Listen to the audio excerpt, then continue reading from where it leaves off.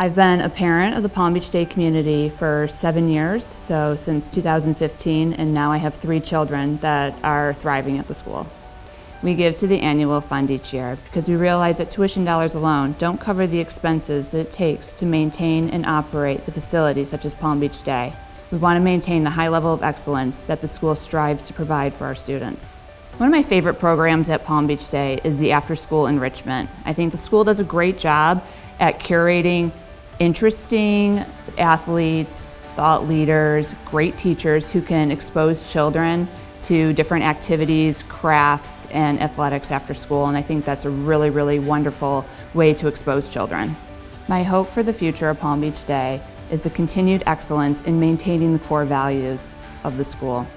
I really hope that children go off into the world and continue to work hard and be kind. As a parent at Palm Beach Day, I really hope I've encouraged you to give to the annual fund this week. Thank you so much.